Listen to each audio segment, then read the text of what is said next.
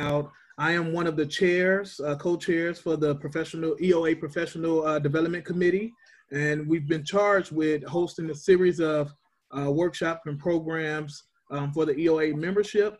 And so this is our second one for the month of June, um, and this is uh, working slash managing uh, in a virtual environment. And so we got the idea, of course, from uh, MyCap hosted some similar about leading in a remote envi environment. And um, it was a great workshop and we thought it would be good to uh, share with the region. And we have our uh, uh, host that will be hosting it, Miss Cindy Cowell. She's uh, from MyCap. Um, mm -hmm. She's going to basically share a great deal of information with you all. We definitely want you to ask the questions that you have. I'll be kind of jumping in and out, but we also welcome you uh, to jump in and out as needed with recommendations and also suggestions and also questions um, that we can all collectively answer and share amongst our membership. Um, this call will be recorded for you to kind of go back to, it, but also just for your heads up. Um, and then we will, of course, be following up. So thank you all for joining. And Miss Cindy, uh, I'll let you go ahead. Thank you very much, DeAndre. So what we did, um, DeAndre and I were on a panel in Michigan is we presented some of the information that we had, and then we really opened it up to like a roundtable and asked everyone to share some of the successes that they found or maybe throw a challenge that you're facing out to the group. Um, and that really wrapped it up nicely. We had a, we had a really fruitful conversation. So thank you for having me here today. Um, I'm laughing because, so my team is not here, so I'm still leading a team remotely but in doing a presentation like this, and when we did it with Michigan, I find myself, I came to the security blanket of my office to talk to you all because that's where I feel like I'm most focused and of the good mindset. Um, I am going to share screen. I put some PowerPoint slides together. Let's see, I think they're right here. Yep, let's go with slideshow from beginning. All right, oops. Okay, so um, as DeAndre said, we're going to talk about leading a team remotely. I noticed that the um, title in the EOA announcement was working slash leading a team remotely. Um, a lot of the information that I'm sharing can be used if you're not leading a team um, remotely, you are a member of a team who's working remotely. A lot of the tips that I'm going to discuss today, you can use as a member of a team to help communicate in the most effective and positive manner possible with the team that you're um, part of. So a little bit about me, because I'm just this person that also showed up in your Zoom meeting. Um, as DeAndre said, my name is Cindy Cowell, and I'm the director of TRIO SSS at Finlandia University in Hancock, Michigan, which is a very small town in the Upper Peninsula of Michigan. Um, because we're so we're rural, I was going to say is a rural, but we have a really unique environment up here as Finlandia University is here in Hancock like a mile away in Houghton, Michigan, we're twin cities, um, is Michigan Tech University, which is a public four-year. And then also there's a satellite campus of a community college, Gogebic Community College in Houghton. So we have a really unique um, culture up here, being small, being very northern, um, but we have three higher ed institutions in our community. Um, I've been a TRIO director for 23 years. Um, we have Talent Search, Upward Bound, and Student Support Services here at Finlandia, and I have directed all of those programs at some point in time. Um, I was the president in Michigan in the 1996-97 board year. I was a member of the EOA ELI class of 1993-94, and that really truly is what kicked me off into leadership in TRIO was being a part of that ELI class. So if you haven't done that, I highly encourage you to look into that. I have a bachelor's in communication, which is a lot of um, the information that I am going to present today is kind of coached in that background. Um, and then I have a master's in education. Those are both from Northern Michigan University in Marquette, Michigan. So when I talk about um, working with a virtual team, I thought it would be helpful to kind of share with you who my team is. So in our um, program, our TRIO SSS program, we have five full-time professional staff, which includes myself. Um, I am the only 12-month person. All of the rest of my staff are on academic year contracts.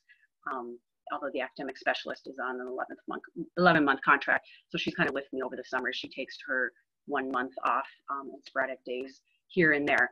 Um, but when we talk about the team that we've been leading remotely, we also collaborate really closely our program and the tutoring and learning center. So the and just because I'm I'm the old person in the group, I kind of have taken the the main leadership role with that group. So we have our, our five, which includes me, Um, there's a coordinator that Finlandia pays for the TLC, so she's been in part of our group. We have um, NCAA D3 athletics here, and the um, academic coordinator for our athletic teams is um, housed in our teaching and learning center partially. So she's been part of the virtual team that we've been leading. And then we have about six full-time professional tutors that come in and out at any given time. So that's kind of me in a nutshell and where I'm coming from um, with some of the comments that I'm going to share with you today. All right, so what we did, you know, we, we literally had, I, am not kidding you, on March 24th, that's when Michigan's um, stay-at-home order went into effect. On March 23rd, we literally had 30 minutes to figure out what we were going to do because we were told at 4 o'clock, our campus closed at 4.30, you're not coming back. You take whatever you need with you. Um, you now are going to be a virtual team. And we were like, we had that 30 minutes to be like, oh my gosh, what are we going to do? How are we going to hit the ground running? You know, of course, our students, um, our students had been sent home about 10 days earlier. So we already were kind of used to um, working with them in a virtual environment, but now we were also going home.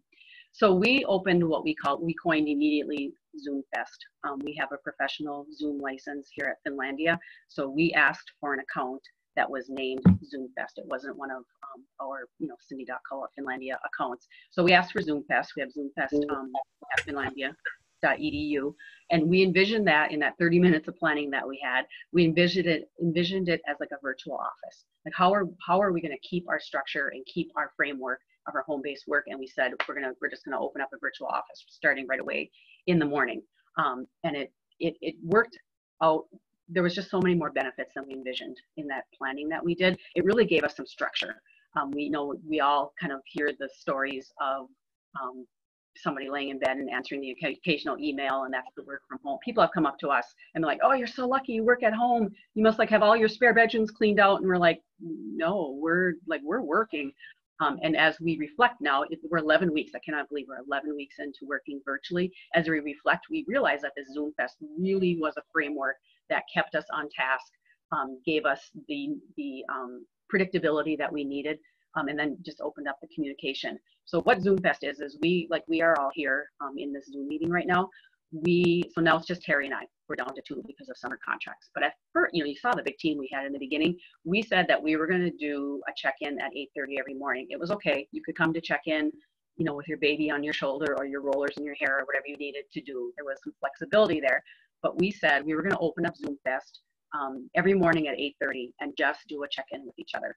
Um, and I'll talk a little bit about that check-in as we get into some other screens. And then what we did um, is we would just minimize it. You know, we didn't we didn't stay engaged as we're engaging right now all day long. We would check in, we would talk about things we needed to talk about, and then we would just minimize the Zoom fest on our screen um, and keep the volume up on our laptop. And if we got a, it was then we were able to like yell back and forth to each other. A, a student email would come in.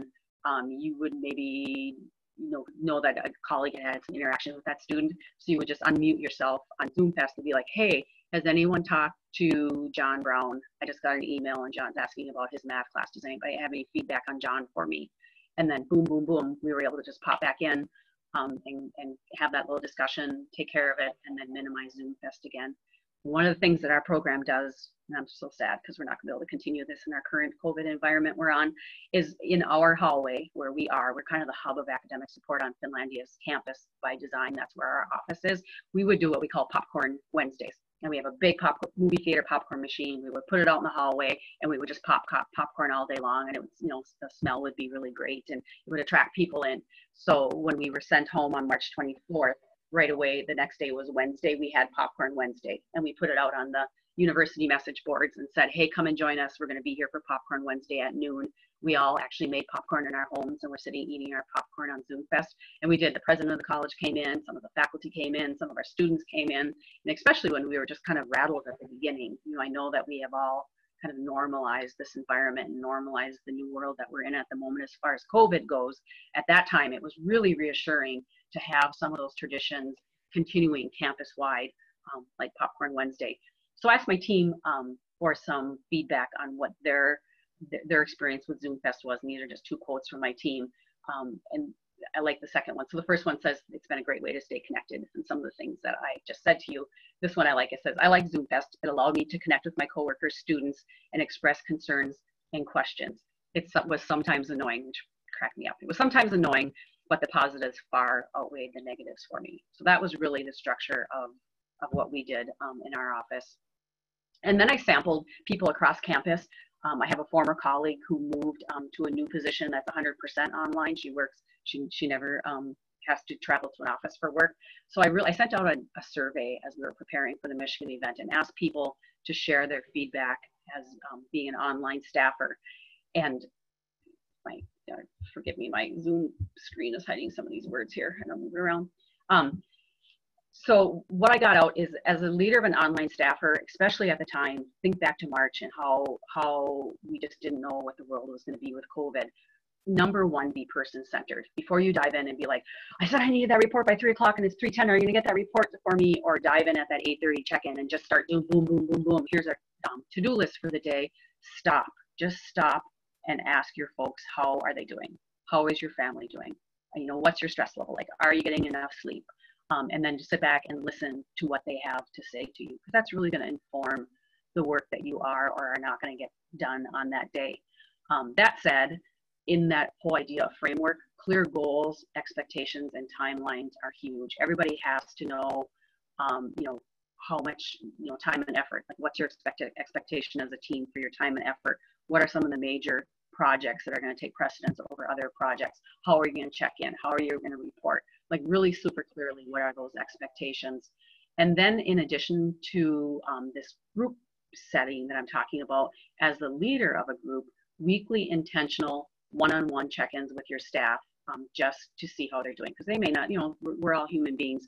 They may not um, share things with the whole group on that Zoom Fest that they will share with you one-on-one. And we might do that by a phone call. We might do that by text. We might do it by email. Um, there's breakout rooms in Zoom that, you know, they may say, I have something I want to talk to you about. We can go to a, a private breakout room. But really, as a leader, intentionally checking in one on one with each of your staff on a weekly basis to be sure that, you know, they have everything they need to survive in the virtual environment. I like this, um, and this came from my colleague.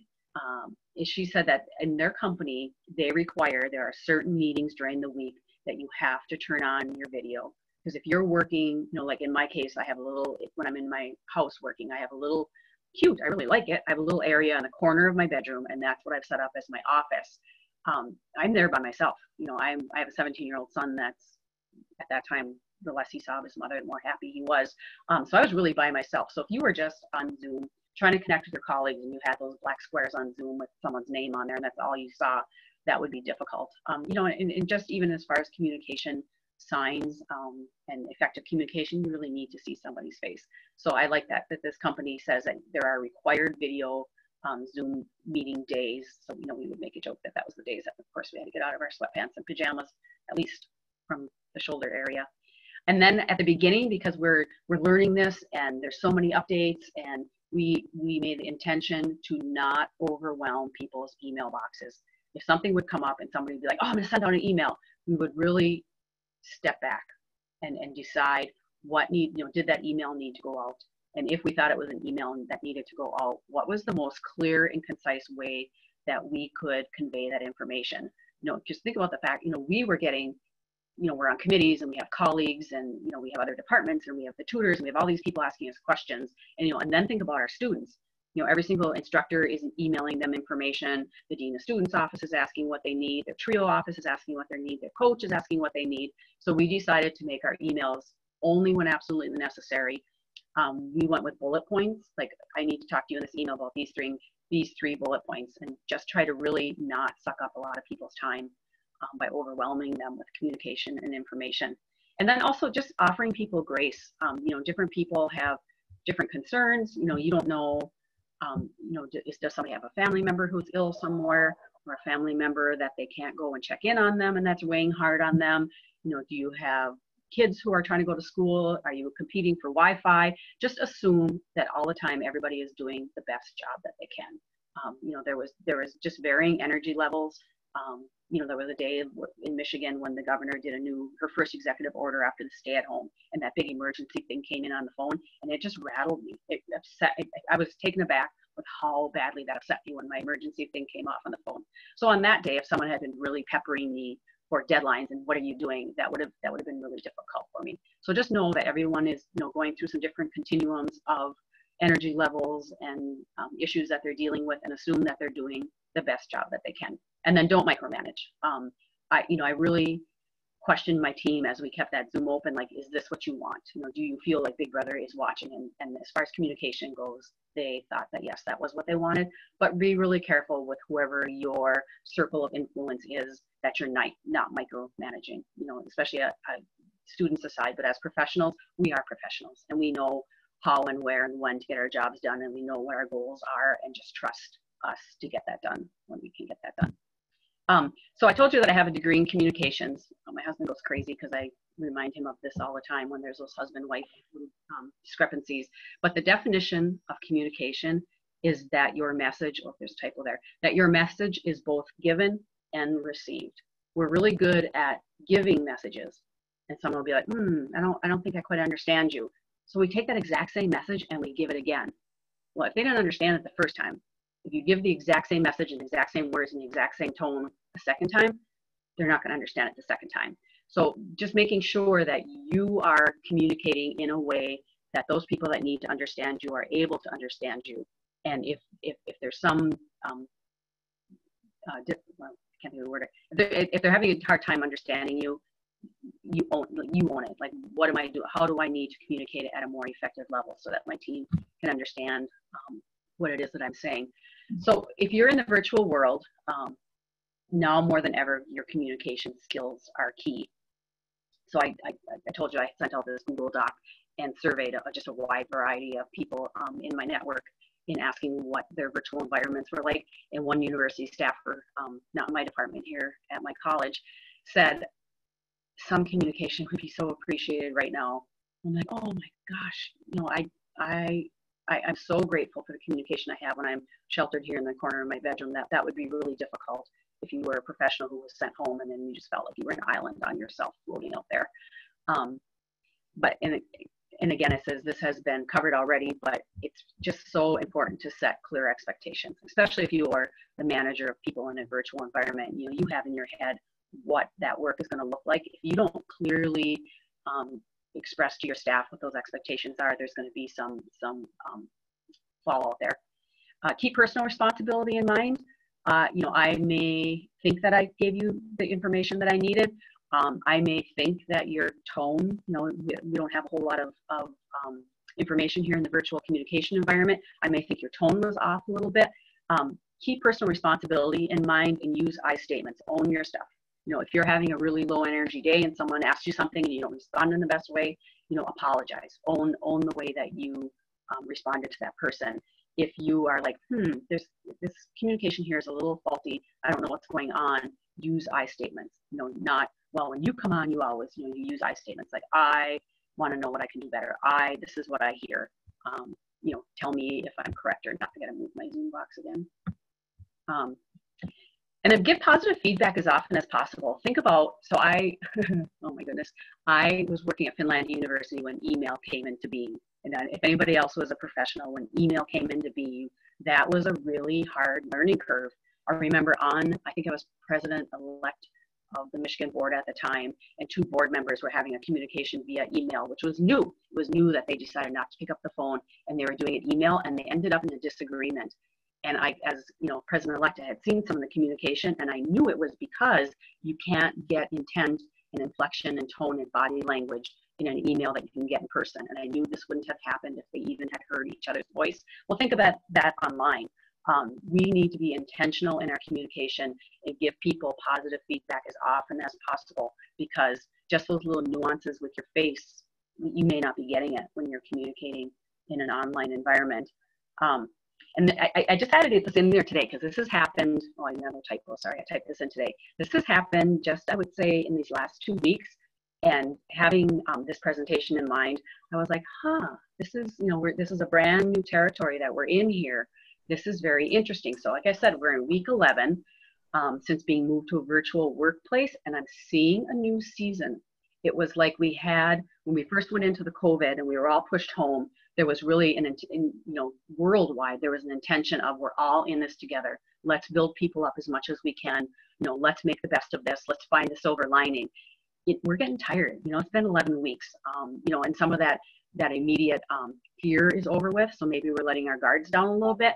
But I had some situations, three specifically, that have come up in the last two weeks, um, where people are they're a little salty. You know, they're not on their best behavior the way they used to be. And that's just something I thought I would share with you. Like, oh, interesting. So we, you know, we're going to be probably, I mean, at least in the, at least another month or six weeks here at Finlandia, we're going to be in the online environment. And I'm like, okay, so here's a new set of skills that I'm going to have to pull out and find out and figure out and think about because people are just getting a little tired and crabby. Um, and we just need to try to, you know, be be the positive person in that communication and you know and try to use the I statements like, oh, it sounds like you know you're really overwhelmed with you know like our, our poor mailroom person is down there by herself, literally sequestered in the mailroom trying to do mail without seeing anybody trying to do mail for the whole campus. Like that must be really hard for you. Um, you know, thank you for coming to campus every day when we all got to stay home and taking care of that for us. So one of the, this is one of my last screens. Um, there is a true, there's science out there already um, on Zoom fatigue. And after 11 weeks here in Michigan, we certainly are experiencing some Zoom uh, fatigue. So out of INSEAD and Clemson University, um, they were researching why, and I don't know if the same for all of you, but sometimes at the end of a virtual day on Zoom, where you would think like, oh, I'm in my favorite leggings all day long. This is great. How can, you know, how can I be more fatigued because I'm sitting here comfy with all my favorite snacks right next to me um, in my leggings, but we feel more fatigued after a day of virtual communication versus um, personal communication. And some of the reasons, the findings that they came on, out uh, with in their study was, and I kind of alluded to this earlier, is you have to concentrate really intently to pick up the nonverbal cues of a person. You can't you know you're just not taking that. Your brain isn't processing those nonverbal cues naturally. So you have to be like i said earlier intentionally positive because my brain isn't going to pick up just nuances in your face or the way your you know eyebrows are positioned um, that you're giving me some positive cues. Or for example right now i can see as i talk to you four of the um, zoom screens and all of the rest of you are hidden because i'm sharing the screen. So i'm getting zero positive feedback from you. I'm talking into my computer laptop. Um, so if you imagine if you were doing that all day long, kind of having that running dialogue in the back of your head, um, that things are positive and things are going well. I mean, that's very fatiguing. It makes you tired by the end of the day. You know, the barriers, um, you can't relax into natural conversation. You, we all have seen those yellow boxes on Zoom light up when someone starts to talk, and three people start to talk at the same time, and then everybody stops talking, and then two people talk at the same time, and then you're like, oh no, that's okay, you go. So it's just not a flowing, comfortable, relaxing, natural way to communicate, um, which is also tiring. And then there's a delay. It's not natural. Um, you know, I talk and then your box will light up. I can see Sarah. Sarah's box will light up, um, but then it'll be like a second later before we can hear her voice. Um, and then watching yourself all day long. We don't do that. I think, I mean, all of the years and years and years of talking to people that you've done, you don't see yourself from the front of your face um, when you're doing that. So that's just lighting up a whole another part of your brain that we've never used before in our communication um, and natural, commu- natural communication. So that is fatiguing. Um, and then add on top of all of this, the stress of you know worrying about our health, worrying about our family and friends' health, worrying about our students' health, you know the economic stress that is on our country right now. Um, and you know, and I put this paragraph together before we had the the murder of George Ferguson or uh, George Floyd. So we are under an incredible amount of stress, and we're trying to serve our students, move forward, um, continue to grow as professionals. I mean, that is a lot. That's a lot that we're carrying around with ourselves. So there is um, Zoom fatigue, which is more than maybe come into the office every day. And just be aware of that and give yourself some grace um, and you know take the time that you need to tend to your own self um, and be sure that you are as healthy as, po- as possible. And then kind of a nuts and bolts part of this did, um, I attend, was it yesterday that COE did the um, webinar on the FAQs that finally came out from the Department of Ed. But I pulled this one out um, because this was one of the areas that we had no guidance, like how are we gonna document that we are really using our TRIO funds in the way that our grant is written and says that we will use our TRIO funds. So this is from the FAQs that the Department of Ed um, put out regarding accounting for time and attendance. Um, and I won't read this to you. If, if no one, if someone hasn't gotten this, um, I'm happy to forward it to you. But we, in the COE webinar yesterday, um, they talked about it's it's not that hard. Um, you know, we there's a there's a track of everything that we're doing because we're doing everything electronically. So really, just being intentional of keeping careful notes and documentation of your time and what you're doing. Um, and I just wrote myself some notes of how we what we have done in our program, which I would be really super interested um, here in a minute to hear what other people are doing to document their work um, with their TRIO funds when they went online. But we, so we had a um, desktop based, we used student access by Heiberg and it was desktop based, it wasn't um, online. So that's one thing that we, and Heiberg graciously did a fabulous deal on moving online um, with student access. So we did that. So we we purchased the online student access program so that from home we can continue to document the student contacts the way that we have been. But of course, there was some lag time in purchasing that and getting that set up. So we created a Google Doc, um, a Google form that kind of mimicked the information that we needed to put into student access. And we started doing that immediately because our students were just coming out of what midterms at the time that we were sent home. So we were doing lots and lots and lots of student coaching. Um, so we used that Google form to um, key in all of the student contacts. Our tutors just kept, of course, you know, they moved all the tutoring online with Chromebooks and cameras and everything that they needed. So they just continued to keep all of the tutoring logs that they normally took.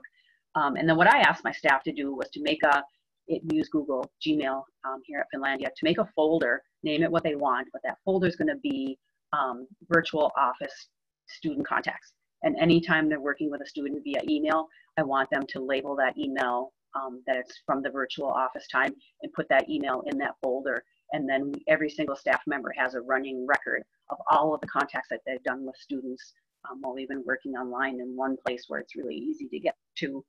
And of course, our time and effort reports, we continued to fill those out. Um, we keep our staff meeting notes to show that we were meeting as a staff regularly during this time. Um, and then we all belong to campus committees. So I asked everybody to please keep um, the meeting notes from any campus committee meetings that they attended during this virtual time so we have access to those to also document how we were spending our time um, in our virtual offices. Okay, last screen. So some of the comments, um, you know, be transparent with each other, um, you know, have some communication. Your, every staff is going to have a different style. You know, some of my colleagues in Michigan said they're just meeting every Thursday as a staff. Um, some directors said that they just touch in one-on-one -on -one every day with staff. You know, whatever it is, whatever the personality of your staff is, um, but be transparent with each other as to um, you know, what the expectation is and what work you're doing and in what way that you're doing it. And then really work to maintain the team mentality.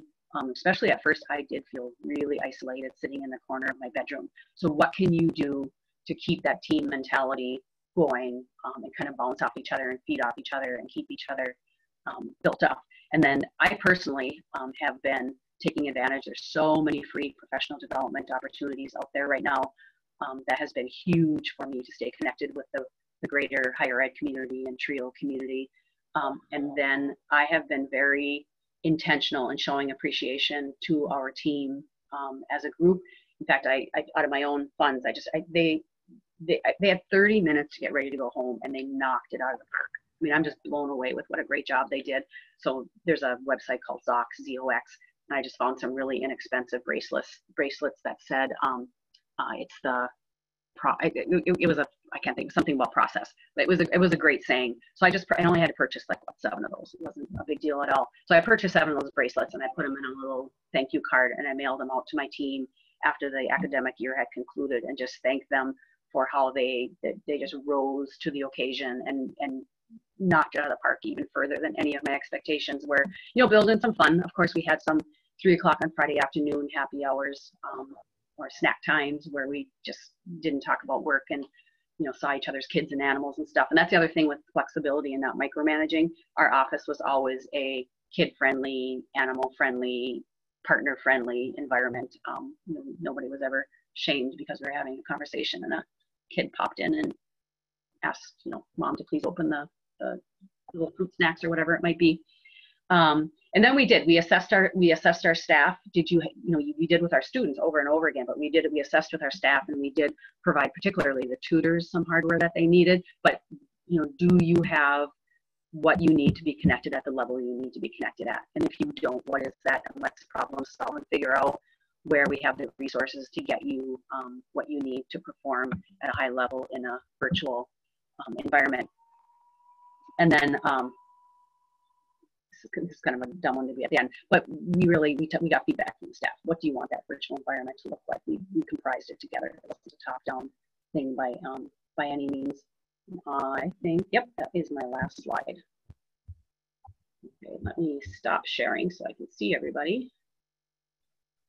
So I would be um, really interested in hearing from folks as to like what your greatest um, like unexpected, like, oh my gosh, this really worked well for our team. Um, and I, I, didn't expect that um, to happen. And then what was one of the greatest struggles that you faced and what were some ideas that you came up with to overcome that struggle?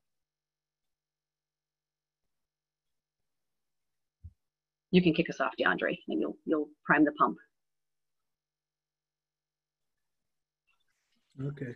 Um, so yeah, for me, um, we we had a little bit more time than you. I think we closed down on uh, March 16th, um, and so you know one of the things it was just you know a lot of questioning going on about how what departments were considered essential and who would be able to do what. And uh, college telling us who should and shouldn't be doing anything. So one thing that um, i had to do for my team was definitely create a contingency plan uh, just moving ourselves 100% remotely, but also sharing that with the institution, letting them know how we are beneficial, how we do, um, how we serve our students for one, and all the essential services that we provide that they needed. Um, and just making sure that we had the team on board in that contingency plan and that communication plan um, to our institution.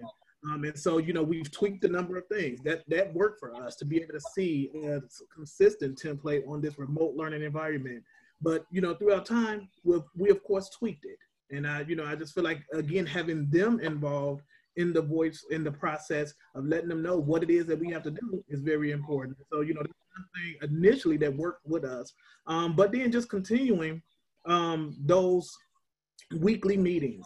And I, you know, like you said, a lot of things that just kind of touch bases. This is very, it can get very overwhelming when you're thinking about all the pieces of communication that we do have across the board from committees that we're on, from our president on updates, from of course, uh, you know, regional chapters, uh, state chapters, we we're getting a lot of emails and just not trying to overwhelm our staff. So really just giving them that, you know, space of, you know, that we are trusting that you are doing the work that you're supposed to do, but you know communicate with me. I have an open door policy. And so leaving that space out there for my students and just scheduling one-on-one meetings every little blue moon for them to be able to touch bases with me. Mm-hmm. one thing that i didn't talk about um, which i realized i needed is even though i was literally i don't even know 30 inches away from the end of my bed in my office is i really made that my workspace and i didn't necessarily work anywhere else in my house beside that workspace. So there was just that act of when I would get up at, you know, 4.30, 5 o'clock every afternoon and turn off that lamp that sat on the desk in my bedroom office, it helped my brain disconnect. And I was able to be like, okay, work is there in the corner. I'm now in my home um, with my family and my private life. And that was really helpful for me mentally to be able to disconnect from we, do we're all TRIO because we're passionate about what we do and you think about it all day long so that was really healthy for me was to have that that just that space turn off the lamp and now i'm on to family time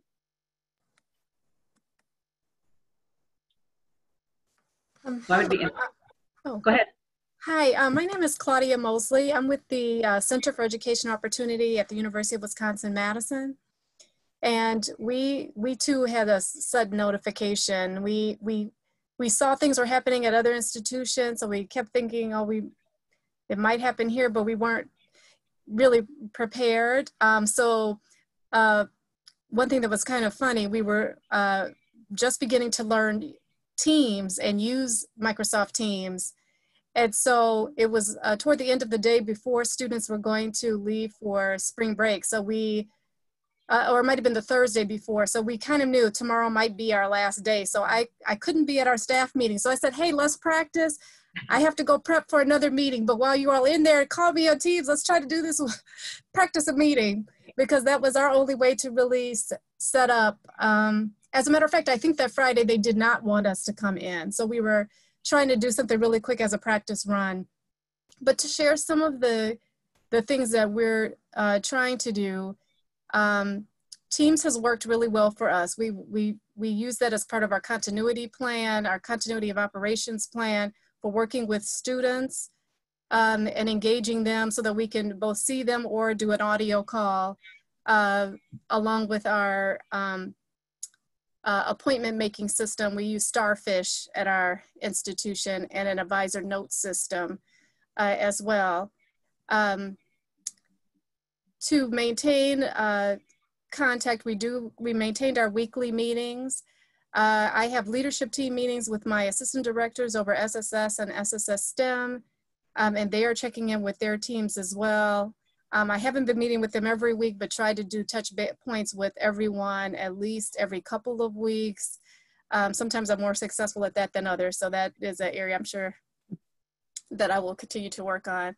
But one thing that we did institute, I didn't want to require a lot of mandatory times because um, I, am sure you talked about at your institutions trying to stay away from synchronous um, activities if you can avoid it or, or with students trying to have some flexibility because you know, I have uh, team members with toddlers and small children who are napping and they're trying to work around that, or they're 2 mm-hmm. partners in one dwelling trying to, ma- you know, or in an apartment trying to manage meetings and those kinds of things. I called myself the principal of, uh, of my household, I, I a, a, a Pintail place because I had two children that were at home in school also that had questions about their online learning. Um, but we also had what we call team time. So it was 30 minutes every week. Uh, we took turns hosting. Uh, and it was just a time for us to have fun together. So I, for instance, did a Jeopardy game using an online Jeopardy game that I found. Another person said, we're gonna do MTV Cribs, find the place in your house you wanna share with us. And we literally went around with our phones and said, well, this is my, my special place in my house. And it was kind of fun. Uh, and uh, we haven't quite done the happy hours yet, but I, I don't know that I would make that mandatory, but we definitely make uh, this. So those are just a couple of things that uh, we've done to one, maintain community. We've had a town hall to try to maintain community with our students and give them opportunities to all come together while also working with them individually. Um, we had to submit continuity operation plans to our institution, so that helped to kind of pull some of that information together as well. Thank you. Um, we, um, the one thing I picked up on is the, the, flexibility, you know, the asynchronous. So yeah, so we tried to, as an institution, truly push asynchronous learning for our students. Um, the tutors, part of how they knocked it out of the park is they were willing to meet with students at, at any time. You know, I, there was tutors who were having appointments at 10 o'clock at night because a student might live in Alaska or Hawaii or somewhere. And then with the Zoom Fest, um, we, like I said, we would minimize it um, but it was just like it was we really did wrap our brains around it like a virtual office. So people would like just unmute and be like hey i gotta run to town. Um, blah blah blah blah blah blah. I'll be back in a couple hours. And then they would leave the zoom fest so it really was like you would do in the office like hey i have a dentist appointment. I gotta go. I'll be back in a couple of hours. Um, it, it did work out well for us. But yes you you do have to i think have a higher level of flexibility during this time that we're working than you would maybe in an office where you punch in and punch out per se if I could just share really quickly, because we are an office uh, that has an example of a number of things that were unanticipated that happened. So I had two retirements happen. So they just left us last weekend. So now I, you know, I have two. um, and that was hard too because yeah. you want to these are people right. who were with us 24 and 26 years so i was determined that it would not be um, you know the, they needed some kind of pizzazz because we wanted to have them go out with a bang. Um, and so we did, uh, we organized kind of a curbside, it wasn't quite a parade, but a curbside uh, uh, celebration for them. Unfortunately, we did have someone get sick. We, you know, they thought they had COVID and unfortunately they were not diagnosed with COVID, but with, um, but with cancer. And so we had to come together too because that was very hard information. And I had to be really strategic about sharing that information. So I just want to share what I did just in case anyone else, this happens to anyone else where you have to share some devastating information. Um, um, our team member gave me permission to share with the team and had, had actually written something to share. So I scheduled an update meeting. And when we and, and uh, started the meeting and just said that our coworker had an update he wanted to share with us, and I, I wanted to uh, send it to them while we were all together. So I sent it then, I didn't send it before. And I said, I'll give everyone a moment to read it. And so, of course, I could hear the, oh no, you know, everybody's responding. But I wanted us to be in community together because in isolation, I just didn't know what the response would be and what people would need. So we made ourselves, I made myself available if people wanted to stay and kind of process. And then folks, because I had some newer team members who really didn't know this team member very well, but obviously felt something, you know, had some response to it. So just all kinds of unexpected things are happening, both, you know, as a team, but in our families and our homes. And so, um, like you're saying, patience and kindness and empathy and uh, just flexibility is, has really been important. Mm-hmm. We had a, um, a day, and I don't even, it was a simple topic. Like maybe somebody had entered some data in student access that messed up the reports. It wouldn't print the right way. And one of our team members, it was a day where she was low energy, but you don't really realize it until that moment comes and her reaction to the, the what had happened with the reports. It was literally with reports. Her reaction was so over the top that, um, and we, you know, and we have the group together, right? So you want to, you want to protect her dignity. So I, what I just said in the, in, you know, because she, she asked all of us to come in because these reports weren't running right and contacts were all off and everything. And then she started to really kind of come unglued. And I just said, it sounds like you are really in a time of high stress um, and you just need a few minutes. So why don't you right now log out of ZoomFest?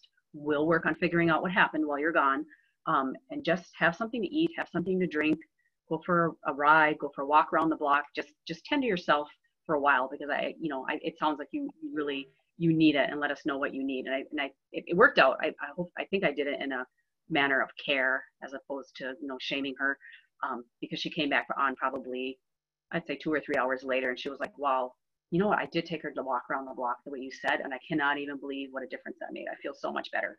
Um, and it was done. It was a non-issue. It, it went away.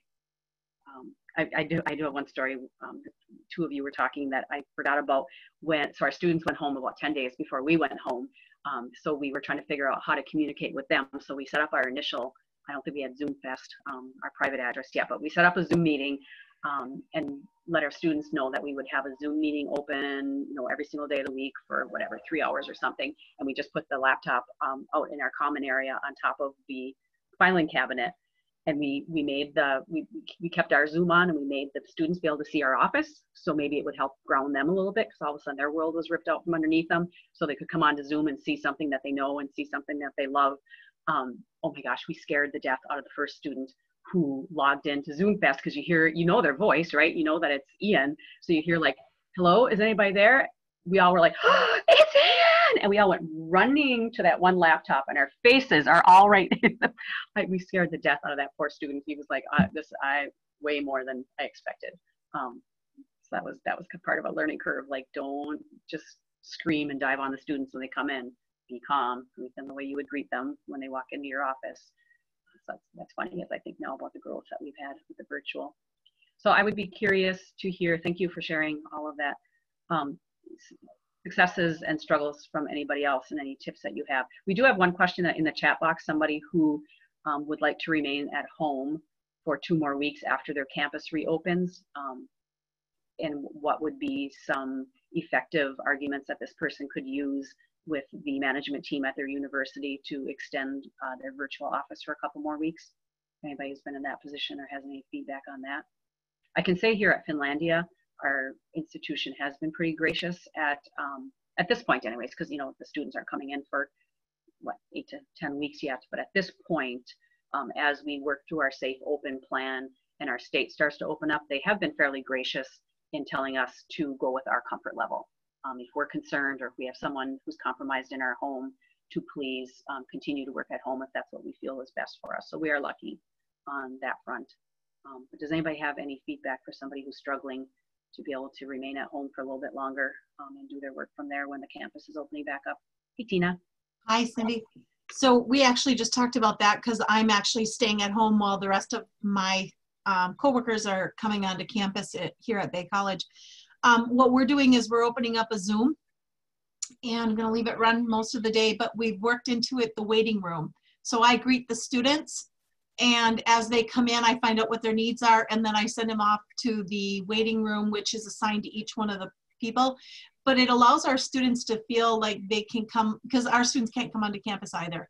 So they can come in they can chat and we get to greet them and it's um, you know just comfort for them to be able to see one person and not be overwhelmed coming into a zoom session with you know six screens staring at them waiting for them to say what they want mm-hmm. so um, that really works unlike what we did I know, but it's so exciting to see them. I get it is. some of our students FaceTime me, and I'm just like, ah, how are you? Right. You know, it just you do miss their little faces. Um, but I think the other part of that too is it also allows them, you know, you that personal moment to kind of chat with them about something that just puts them in, in a comfortable space so that they're ready to talk about whatever it is they need to talk about. But we have a lot of, um, we have a couple of new faces. Our director, our OOA director is brand new. Um, so she's going to participate with us as well and stuff. So we've actually even had a few other departments that are going to participate in this with us. Mm-hmm. So that's what we're doing here at the college anyway. Thank you. And your college is is your college flexible with who comes back onto campus and who state remains virtual? Yep. Um, so there's a, a, go date for our student services department the end of this month. I think another two weeks they are required short of um, any, you know, talking to HR and their managers kind of thing about um, who shouldn't be, but right now their go date is the 23rd. Um, and then hopefully a little bit after that, they're hoping to um, implement something for our students to take. We're developing a Blackboard course so that they have to go through like a safety course in order to be able to come back onto campus. They have to take it. And then um, the other departments, I think they're giving them until the end of July. And then after that, even if there are people who have concerns, I know for me, I, I take care of my parents and my parents are ill. So for me, I'm higher risk for exposure and stuff. So with that, I'm able to work with my supervisor and be able to potentially work from home a little bit longer. So it just, you know, yeah, they're very flexible. They're very easygoing with us. So. Yeah, my um, and, and and somebody asking, you know, what they can put in an argument to management at their institution to stay home. You know, I know that we've all been very well documenting the work that we've done in our time and effort. So I personally would kind of pull some reports together and show like it's there's hardly any hiccups in the services that we're providing virtually, um, you know, and whatever the reason is that that a team or a person would need to remain home for two more weeks. Um, the continuity of operations plan um, that Claudia talked about, you know, you show your plan and you show your outcomes that you've developed so far, and it's you know pretty much data right there in front of you to say that that work is getting done and and it will continue to get done if you remain home. Does anybody else have any feedback on that? Y'all are a quiet group. Must be late in the week. Must have Zoom fatigue. All right, let's see. Um, DeAndre, somebody had asked about the PowerPoint. Do you have a file like on the professional development page of the EOA website that we could put that PowerPoint there if anybody wanted to refer to it? Um, I'll check into that. Kenny, Kenny probably can assist me with that. Okay. Uh, generally, I've been working with um, best practices, and we uh been sending them out to the membership, and he puts them out on his uh, on the best practice website. So okay. Okay. So like the EOA newsletter would have information as to where people can find yeah, the so resources. Listserv and best practice. Like, okay. Yeah. Okay. Thank you.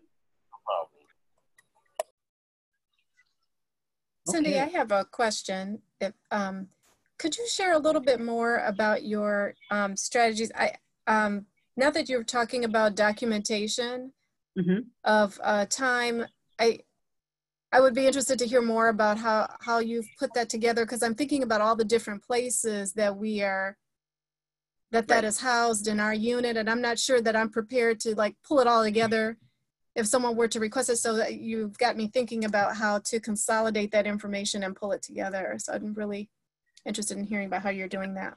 Um, so for me personally, I, I was blown away with how fat, fast the folder in my email grew with direct student service um, or academic coaching appointments via email. So that would be one spot where I could mm-hmm. give you student names okay. and dates and topics um, that we covered.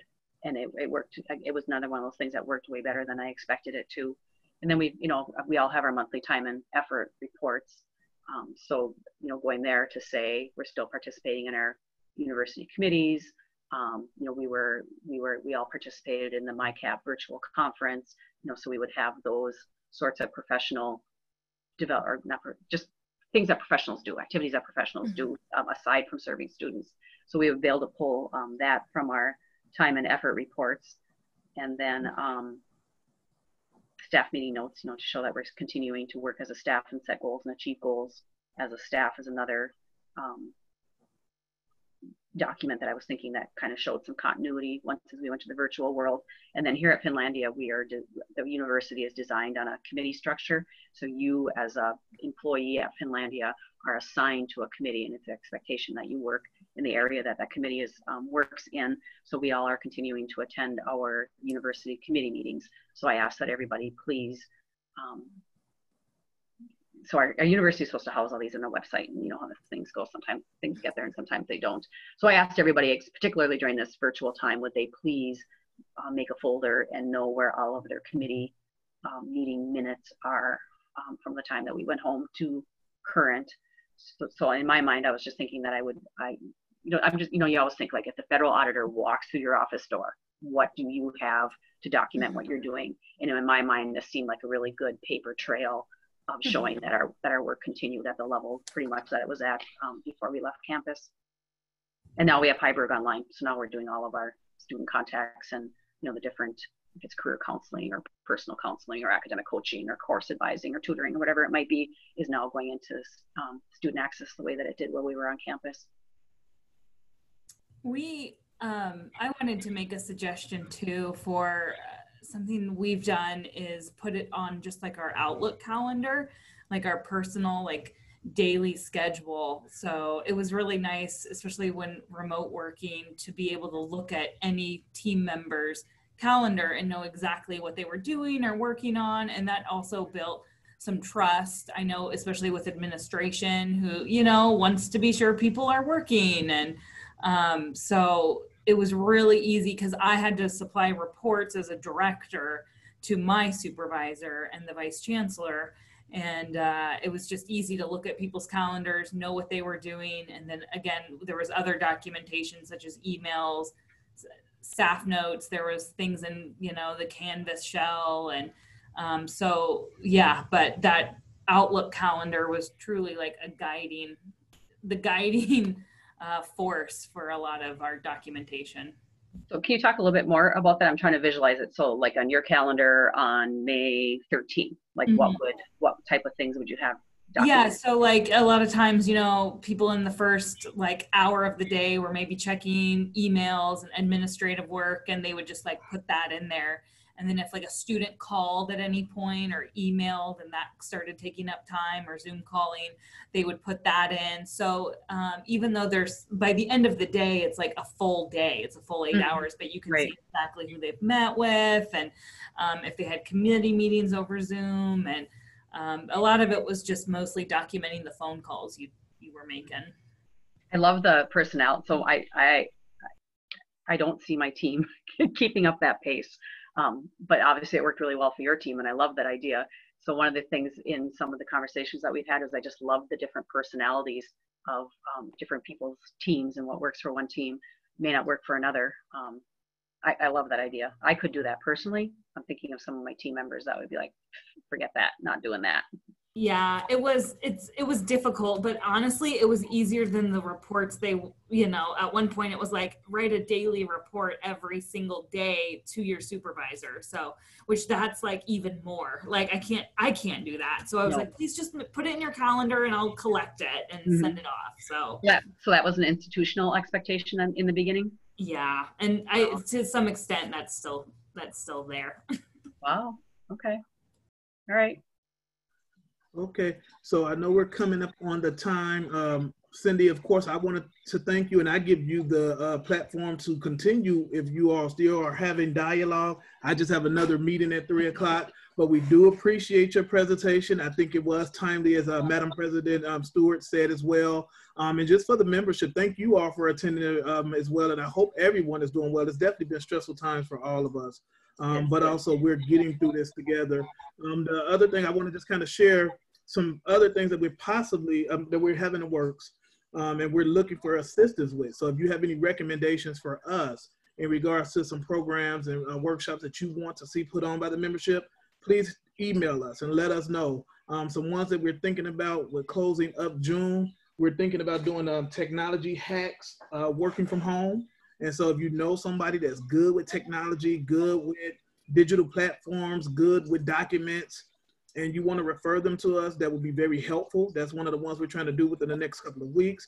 And also we're thinking about, um, which we're all dealing with, especially with the time